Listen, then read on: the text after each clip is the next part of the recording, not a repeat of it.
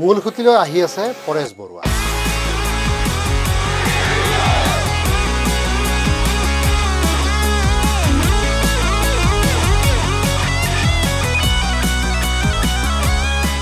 আলফা স্বাধীন আৰু N S C N Isak Muivah গোটটো মূলসুঁতিলৈ অনাৰ বাবে তৎপৰ হৈ পৰিছে কেন্দ্ৰ। উত্তৰ পূৰ্বাঞ্চলৰ দুয়োটা মূল উগ্ৰপন্থী সংগঠনৰ সশস্ত্ৰ বিদ্ৰোহ সামৰি মূলসুঁতিত চামিল কৰিবলৈ অধিক জোৰ দিছে কেন্দ্ৰ চৰকাৰে। ইতিমধ্যে দুবছৰৰ অন্তত এন এছ চি এনৰ সৈতে শান্তি আলোচনা আৰম্ভ কৰা হৈছে। হয়তো সকলো ঠিকে থাকিলে দুহেজাৰ তেইছ চনত অসমলৈ ঘূৰি আহিব পৰেশ বৰুৱাও। এই খবৰো ওলাইছে বিভিন্ন সূত্ৰত।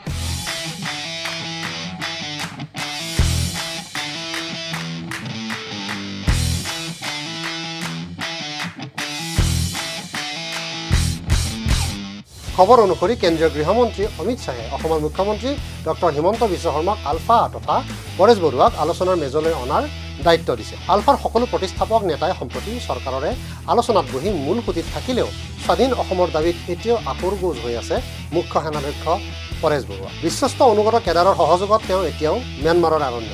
অৱশ্যে ইতিবাচক কথাটো হ'ল চৰকাৰে সঁহাৰি নিদিলেও তেওঁ একপক্ষীয় অস্ত্ৰবিৰতি ঘোষণা কৰিছে। মুখ্যমন্ত্ৰীৰ আহ্বানৰ প্ৰতি সঁহাৰি জনাই পৰেশ বৰুৱাই অ' এন জি চিৰ কৰ্মচাৰী ৰিতুল শইকীয়াক মুকলি কৰি দিছিল। সেই কথাই এটা কথাৰ ইংগিত দিছিল যে হিমন্ত বিশ্ব শৰ্মাৰ প্ৰতি ক'ৰবাত নহয় ক'ৰবাত হয়তো পৰেশ বৰুৱাৰ সদিচ্ছা আছে। সেইবাবে ৰাজ্যত চিৰস্থায়ী শান্তিৰ স্বাৰ্থত পৰেশ বৰুৱাই স্বাধীনতাৰ দাবী এৰি মূল সুঁতিলৈ ঘূৰি আহিব বুলি আশাৰ সঞ্চাৰ হৈছে হিমন্ত বিশ্ব শৰ্মাক আলফা স্বাধীনৰ সৈতে আলোচনা কৰাৰ প্ৰাৰম্ভিক দায়িত্ব ইতিমধ্যে দিয়াও হৈছে। অৱশ্যে উদ্দেশ্যক লৈ অবিচল বুলি জনাজাত পৰেশ বৰুৱাক সৈমান কৰোৱাটো সিমান সহজ কথা নহ'ব। পূৰ্বেও পি চি জি গঠন কৰি আলোচনাৰ প্ৰচেষ্টা বিফল হৈছিল।